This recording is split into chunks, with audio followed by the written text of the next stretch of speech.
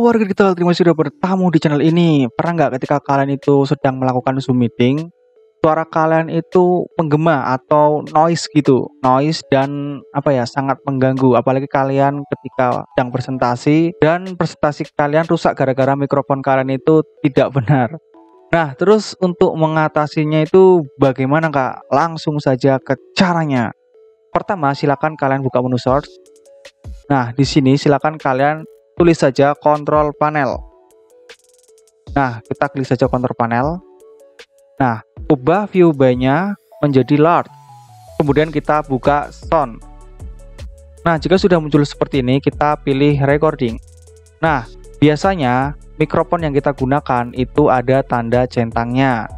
Nah, jika sudah, kita klik kanan saja mikrofon yang ada tanda centangnya ini. Kemudian kita pilih properties. Nah, setelah itu kita pilih listen. Nah, di listen ini pastikan listen to this device-nya itu tidak tercentang ya. Jadi ini tidak ada centangnya.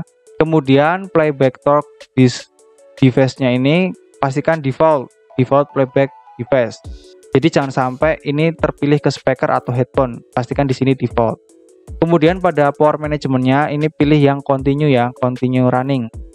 Nah, seperti ini settingannya. Kemudian kita klik OK, klik OK, dan close. Nah, terus langkah kedua, silakan kalian buka Zoom meetingnya.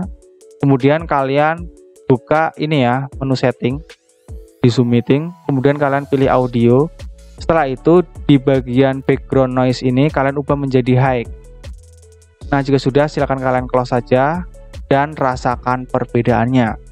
Nah, jika kalian terbantu dengan video ini, mohon klik tombol like dan subscribe karena dengan like dan subscribe maka channel ini akan semakin berkembang dan kalian akan terus terbantu dan terhibur dengan video-video selanjutnya. Nah, jika kalian itu masih mengalami kendala, silakan kalian tinggalkan komentar di video ini. Terima kasih.